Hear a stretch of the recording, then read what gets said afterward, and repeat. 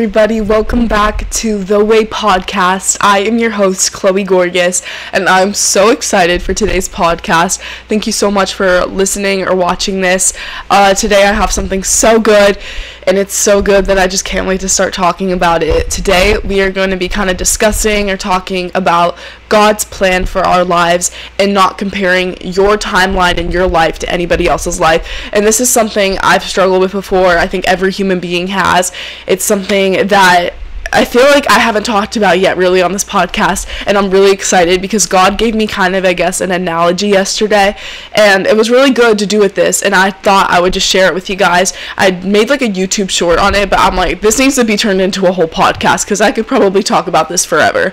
Um, and it's just like a new mindset that I've kind of gained, and I want to help you guys just know that God has a specific plan for your life, and that's not going to look like anybody else's, and there's a reason for that, and God is using you for a reason, and God woke you up today because He's not done with you. God does not create anything worthless. So, um, yes, I'm just so excited. So, I guess I'm going to start off with my little analogy.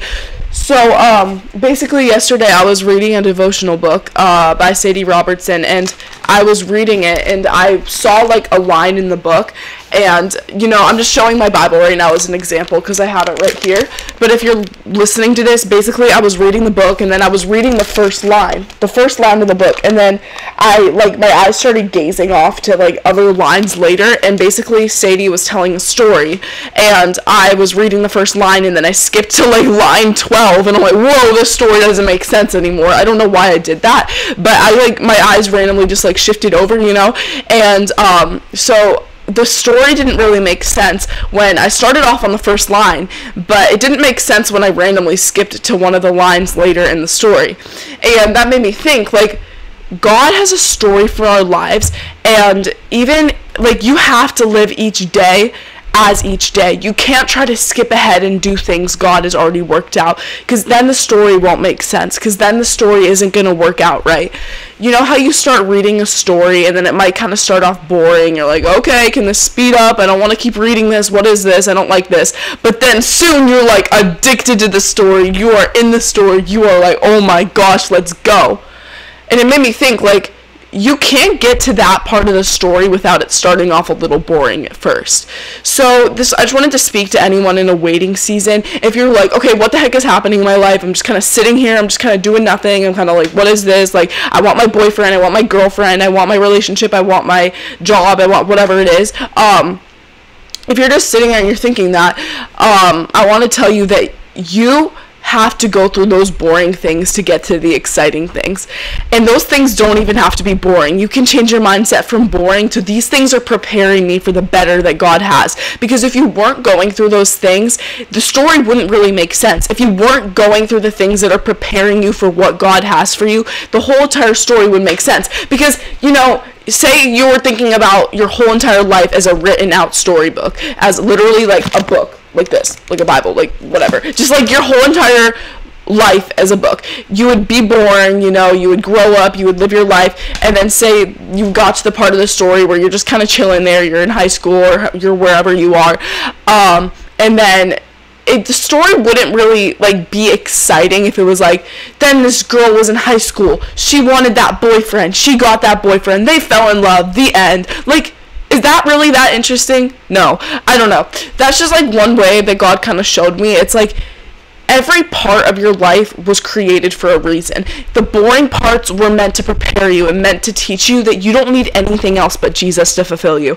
Because I used to fill my waiting seasons up with just wanting a boyfriend, wanting more, wanting more, wanting more. But all I when I found out like why I was feeling so unfulfilled from that, it's because I wasn't leaning on Jesus and I wasn't like falling more in love with Jesus because sometimes Jesus puts us in those times alone to fall more in love with him not just to replace that with a relationship. I'm telling you what God has for you is for you. He will bring that relationship when the time is right. He will do that thing when the time is right. But you just need to be patient and you just need to surrender it all to God and you need to say okay God my life is yours. And um yeah I also have a verse that it's like one of my life verses. I love it so much. I have this little book. Hold on um, this is Psalms 139, verse 16. Let me find it. Ugh, Psalms is such a good book. I especially love Psalms 139. Everything it says in it is so good. So if you haven't read Psalms 139, I really recommend it. It's so good, y'all. Okay. Psalms 139 16. Okay. This is You saw me before I was born. Every day of my life was recorded in your book. Every moment was laid out before a single day had passed. This literally tells us in this this book of truth, the Bible right here, it says every oh, every day of my life was recorded in your book. Every moment was laid out before a single day had passed. This second right now you're listening you're watching to this podcast god intentionally put this video in front of you so you would be watching it. The thing you're about to do when you click off of this podcast like you might go walk your dog you might just sit there you might god has planned every single thing out in your life for a reason. Everything is supposed to be happen- happening intentionally. And I'm telling you, honestly, I know this sounds really corny, but it's really true. Imagine your life was a movie. That movie wouldn't be interesting if, like, just because that person wasn't getting what they wanted at exact time, they just sat down and did nothing. Would your life really be that interesting? Imagine you were literally watching a movie about your life and all you did was sit there. Like, come on now. Would that be very interesting? No. So use those waiting moments to go spread the love of Jesus. Go use those waiting moments to fall more in love and just soak in the presence of God. I'm telling you that God doesn't just put you in a waiting season to just sit around and be bored. God puts you in a waiting season. God puts you in those times and you're sitting there and you're like, is there even a point in this? Why does every day feel like it's the same exact thing? God doesn't want you to feel like that. God wants you to use those days that are kind of more boring. He wants you to use those and He wants you to find a way to tell others about Jesus. He wants you, maybe He's trying to reveal something to you. But also, I saw this thing. It's like the teacher is always quiet during the test. Okay, so this could really be a test for you to just sit and fully rely on Him. But I'm telling you, like, your life if you're literally watching a movie about someone else's life or your life and you just sat there and did nothing that would be so uninteresting. Go and live those moments that you feel bored. I know this sounds boring but i mean i know this sounds really corny but like it's not. Like be so for real. Because you don't want to be sitting on your deathbed and sitting around thinking like oh i wasn't getting my boyfriend at that time when i was in high school so i just sat around on my couch. I really wasted my childhood or i don't know i don't know. But like you don't want to be sitting around on your deathbed sad because you wasted your whole life just sitting there. And I get it. There's going to be times where we need a break and relaxing. That's not what I'm saying. I'm just saying like seriously, go enjoy in those waiting moments. What I found is like go enjoy God's creation. Go take a walk. Go look at the sunset. Go see the sunset. I mean, I know not everyone lives near a beach and I know that that might not be the easiest thing for you to always do, but like there's always a way you can see a sunset somehow. Like you can go outside. I don't know. But um um, wake up early for the sunrise. Go, like, be healthy, live a healthy lifestyle, do those things. Focus on Jesus first, not yourself, not like be so focused on yourself but like focus on jesus first and be focused on bettering yourself because those the quiet times and those times you call boring are the times god wants to use you to shape you into the person you need to be so you can have that relationship so you can have that job so you can have that thing. God doesn't make a single moment for no reason. Like it literally says in this verse um, every day of my life was recorded in your book. Every moment was laid out before a single day had passed. So wake up every morning with so much excitement and comfort and peace in the fact that you weren't a mistake today. You weren't just woken up so you can live the same old day. God woke you up today so you could fall more in love with Him. If you really don't know what else to do with your life, and you should do this regardless, but every day should be a day to fall more in love with Jesus. Oh my goodness. Yes. Also, sorry, my dog just came over here. She's so cute. She's in the blankets. What is she doing? She just got a bath. Um, she's so cute. I love her. Uh, but Anyways, so yes, let me get a drink of water real quick. Okay, so now I have another verse for you guys. I wrote it down in this notebook. Hold up. Um, Jeremiah 29:11. You might have heard this verse before, but actually I just realized this might be easier if I just go on my phone and look it up on my Bible app because I take so long to find Bible verses. Hold up. Jeremiah 29. Okay, this is For I know the plans I have for you, declares the Lord plans to prosper you and not to harm you, plans to give you hope and a future. God even if you hit a dead end in life and even if you something happens in your life and you're like what on earth is this? Why did this just happen? This is literally horrible. God why would you do this to me? God i don't like the story you're writing for my life anymore. God i'm gonna go live my own way even when you hit those moments where you're like i have literally no idea what's happening why is this happening to me we have to live and hold firmly to the truth. Those are the times you need to hold to the truth the most because it says, For I know the plans I have for you, declares the Lord. Plans to prosper you, not to harm you, plans to give you hope in the future. There is hope. During that pain, that is when God want God doesn't just leave you in your pain. He isn't just like, okay, this thing just happened, but um, now just go deal with it on your own. No, God wants you to like rely on Him in those times. The pain, the times of pain are when we really need to hug God the most. When we really need to like reach out to Jesus the most. Like I mean, always reach out to Jesus the most. But like I'm saying, like those times of pain you are supposed to be close that's what god really wants you to just draw near to him because some things god allows to happen so they can make us stronger and god doesn't God's end for you is not to suffer. God's end for you is to get more people into the kingdom of heaven. At the end of the day, if you're sitting here and you're like, I really don't know what my purpose in life is, I don't fully even know what my purpose in life is. I mean, I have a gist of it, but no one exactly fully knows what their purpose in life is. But I've been thinking about this a lot lately. At the end of the day, we all have one main purpose, and it's really the only purpose that matters at the end of the day getting people into the kingdom of heaven and whatever God has placed you with, whatever people are around you in your life right now, whatever job you have, whatever like school work you have, whatever wherever you are in school, I don't know, wherever you are in your life right now, you have one main goal. If you can't think of anything else you have to do, your main goal is to get people into the kingdom of heaven, to be a light for others. Spend those times you're sitting around waking up like same old day. No, it's not the same old day. It's a day to get people away from hell and into heaven. It's a day to wake up and better yourself in the Lord and better yourself in truth. It's a day to wake up and be a light for the kingdom. It's a day to wake up and do something for the kingdom of God. Do more than one thing for the kingdom of God. Because at the end of the day, all the things like the Instagram, the the relationship, the boy you're talking to, the girl you're talking to, the Snapchat picture, I don't know, whatever. At the end of the day, all of those things are going to fade away and it's just going to be you and Jesus. And Jesus is going to literally talk to you and you're going to give an account, okay? And God wants nothing more than to just know you. Every day wasn't created so you could just sit around and juggle all these things and get all stressed out and blah, blah, blah, blah, blah. Every day was created so that you you right there okay? God doesn't create anything worthless. He woke you up today because he said okay this girl this boy they have a purpose in my kingdom. Every day was created so you could bring people to the kingdom of god. If you're sitting there and you're like i really don't know what my purpose is do something for jesus. Do something for your father who died on a cross for you. And i'm telling you like he said you are fearfully and wonderfully made. Psalms 139 13 through 14 he literally thinks you're so beautiful. He thinks you're so handsome. He created every little aspect of the way your body looks, the way your hair looks, the way your face looks, the way your lips look, whatever you're insecure about. God created that for a reason. He created it to look exactly like that. And so often we look at sunsets and we're like, oh my gosh, they're so pretty. So often we look at the moon and we're like, oh my gosh, the moon is gorgeous. So often we look at the trees and we're like, oh my gosh, wow, that tree is so pretty. But sometimes we catch ourselves and we're like, we're looking at ourselves in the mirror and we're like, ew, why do I look like this?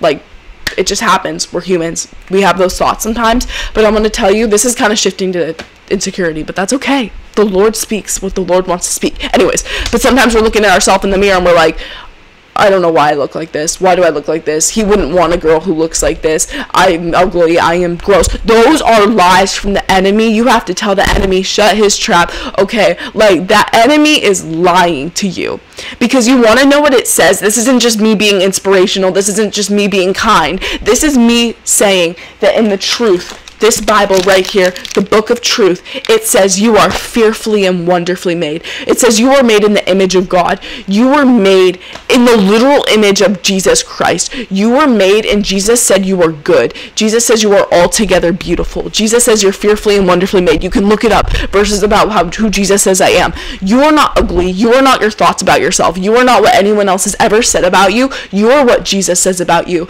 Anything anyone has ever said to you, anything you have ever thought about yourself yourself, that isn't even true.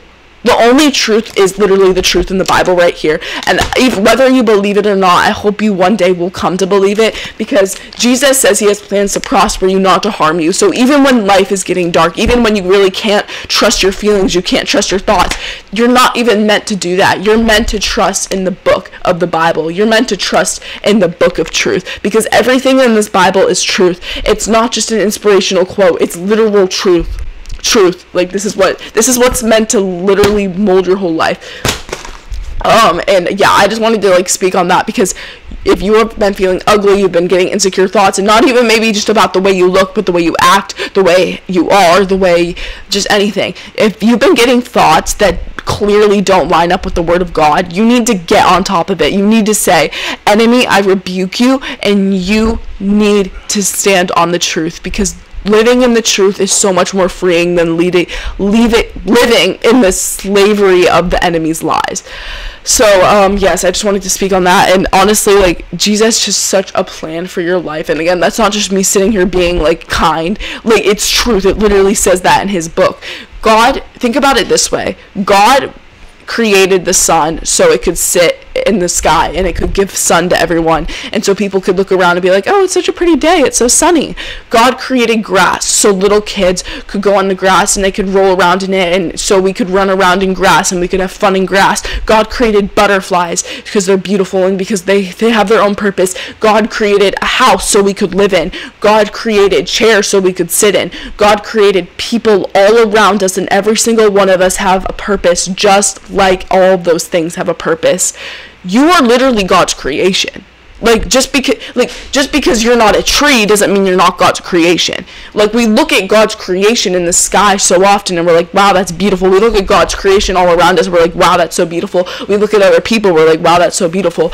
But so often we don't look at ourselves the same way, but we are literally God's creation that have a purpose, just like how the sun has a purpose and the moon has a purpose and the stars have a purpose and a house has a purpose. We are also part of that creation. We are that creation. You listening, watching right now, you're literally part of God's creation. You're not just some separate thing that was a mistake when they were born. No, you have a purpose. You are part of God's creation and you're not just meant to wake up every day and just sit there. You're meant to wake up every day saying, I am God's creation creation. I'm going to fall more in love with Jesus. If nothing else happens today, I'm going to fall more in love with Jesus. I'm going to soak in the presence of God and I'm going to fall more in love with the creation of Jesus. Creation of Jesus. Hold up, guys. I need water. So I'm sorry if you hear a little background noise. It's because there's dishes, but it's okay. Somebody's doing. Oh. uh, sorry, guys. Okay, sorry if you're like listening to this, you're probably really confused. But I just bumped my um, computer. Anyways, so yes, like I was saying, there is such a divine purpose for your life and i just really want to speak that to someone because like i was saying in the beginning of this podcast like you wouldn't read a book and then randomly skip to line 55 because then that story really wouldn't make sense. And this is another thing. Like so often we try to rush what God is doing in our life. Like God isn't putting the relationship in my life. Okay, I'm done. God isn't giving me this, so I'm done. But no, you need every line in the story to make sense. God has given you this day to day, so the thing that He's preparing you for could make sense every day isn't meant to be wasted. Every day is part of the story. And you might not it might not make sense now, but the story really won't make sense if you're trying to push things into a separate day or a separate line in the book. Because when you read a story, it's laid out, the author of the story wrote it so it would make sense. The author of the story wrote every detail and every part, whether the story starts off boring and then it gets really interesting or it starts off and it's interesting the whole time, whether it, whatever it is, the author wrote that story so it could have its own purpose and it could have its own like story, you know? Um so I really want to speak to someone. Jesus is the author of your story, your life, and he has written every single day out for a reason and there's a purpose in every single day. And you really need to wake up starting to live every day like that because you really I know this is getting kind of dark, but you really don't know how much time you have left and like God really wants you to just submit to him today. It's never too late. You're never too far gone for Jesus. You're never too sinful for Jesus. No, you're not. You you just aren't. Jesus created you today, and if you're waking up and you're watching or you're listening, whatever you're doing, what if, whenever you're listening or watching to this, I want to tell you that it's like God didn't wake you up so you could sit and just sit in your shame or sit in your condemnation. God woke you up so you could submit to him today because Jesus doesn't create anything worthless like I was saying. Like he wants you to just say you're sorry for your sins and give your life to him. If you haven't done that and you're listening and watching to this, like God wants you to just say you're sorry for your sins, give your life to Him, live for Him. It's never too late. Like you don't know how much time you have left, and I'm just like there's people who have who have literally had plans for this morning and died last night. Every moment should be a moment you're thankful for. Spend those times of waiting and just replace it with gratitude. Replace it with thankfulness. Say, Lord, thank you I have a family. Thank you I have a good friend. Thank you, I have pets. Thank you, I have a house. Thank you, whatever you're thankful for, just thank the Lord for it because you could always have so much less. And if you're bored and you're sitting there, just be thankful that you don't think th- be thankful you have what you have and use that and be a light for that be a light in the kingdom of God because waiting seasons weren't just created for any reason for no reason. Waiting seasons were created so the story could make sense because the story would be really boring if it was just like the whole time someone was like dancing and they're in love like okay great but what else did you do with your life? It's like the story God is writing for your life is beautiful whoever's listening and watching to this, I just feel it so deeply from Jesus that you have a specific perfect purpose. And I know you're looking to that other person and you're like, why doesn't my life look like theirs? Or you're looking to that girl who seems like she has everything together on Instagram or YouTube and you're like, why isn't my life like theirs? Like, oh my gosh, oh my gosh. You need to stop doing that. You're feeling so drained because you're doing that. You need to say, no, God has given me my life, the way I look, the way I act, for a reason. This isn't just some scrap that came out of the trash. I am a creation of Jesus, just like how the trees and the sun and the flowers are all creations of Jesus. I am a creation of Jesus, created for a specific purpose. I know Jesus is writing out my story day by day. I don't need to rush this. I don't need to take this too fast. I just need to live in every exact moment God has given me in my life. I need to know I know I need to know to be still and know that Jesus is Jesus is God and I need to just sit in his presence in every moment of my life, whatever I'm doing in my life right now, whether it looks like somebody else's life or not. It's not supposed to. The story books would not be interesting if every single book was the same, would it? Like imagine, imagine that. No one would like reading if every single book was the same. Because like okay say every single say there was no different types of books say every book was just about romance say every book was just about horror and you could never find anything different every book was the same then no one would want to read your life would be so boring if it looked exactly like somebody else's. God woke you up today so you could live the story he wrote out for you. It's not meant to look like anyone else's. Just because they have the relationship and you don't, that doesn't mean that you're any less than what God has created you to be. God will give you it when the time is right, and you need to live every day in excitement, knowing that every day is a literal book. Every day is a literal page in God's book written out for you. And you need to live every day not focusing on any worldly thing, but focusing on Jesus, and the rest will be added onto you it says somewhere i think it's matthew 828 here let me find it um but this that's kind of what i was just saying let me find it pretty sure Matthew. Um, I hope this is it. Oh wait, no. Oh my gosh, I'm wrong, guys. Hold on. It is uh seek the kingdom. Sorry, I'm looking this up on my phone if you're listening. Seek the kingdom first. Okay. It's Matthew 6:33, which is um but but seek first his kingdom and his righteousness, and all these things will be given to you as well.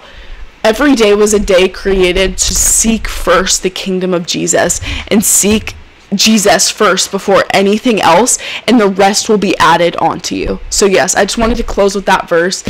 Um, I'm going to pray us out of this podcast. If you're new to this podcast, I usually do that at the end of them. So, anyways, uh, thank you so much for listening or watching, and let's just pray. Dear Lord, thank you so much for the person on the other side of the screen, whether they're listening, they're watching, whatever they're doing. Thank you f- that this podcast landed on to their for you page onto their podcast whatever they're doing. I thank you just that they're listening to this because i believe it's for a reason and i believe that everything you do is for a reason. Thank you for speaking through me today and i pray that the person listening or watching would know that their life was created for a specific reason and every day was not meant to be wasted. And i pray if they've been living life and they've been waking up in the same old rut that they would wake up every day making it a day to fall more in love with you, making it a day to use the gifts that you have given them to just better your kingdom and help them to know that everyone has one specific calling at the end of the day, and that is to get people into the kingdom of God. I pray that if they've been feeling worthless, they've been feeling ugly, that they would say no to the enemy's lies and they would submit in your truth instead. And they would say, No, God woke me up today because I have a purpose, and I know that God doesn't create anything worthless. Lord, thank you so much for the person listening or watching. I pray that if they haven't given their life to you, that they would repeat after me right now. Dear Lord, I am a sinner. I'm done living for this dirty, I'm done living for this dull world. I want to give my life to you and live in your fullness and your truth. Show me how to do it and show me how to fall more in love with you every day. I love you, Lord. Amen. Thank you so much for listening or watching this. Go live the life God has created you to live. And I'm telling you, He didn't create you to live in a life of dullness, but a life of His truth in His fullness. Oh my gosh, that rhymed. What? Hello? New song lyric. Oh, okay. Another thing is, if you watch my YouTube channel, I have been learning how to play the guitar lately and I'm starting to learn some songs and I like to write songs so maybe later in the future you guys will get like little original songs from me or me like covering songs. I'm really excited about that because I love singing. I don't know but yeah anyways that was off topic but I love you guys so much. More, more most importantly Jesus loves you so much. Have a great rest of your day. Goodbye beautiful or handsome person. Goodbye.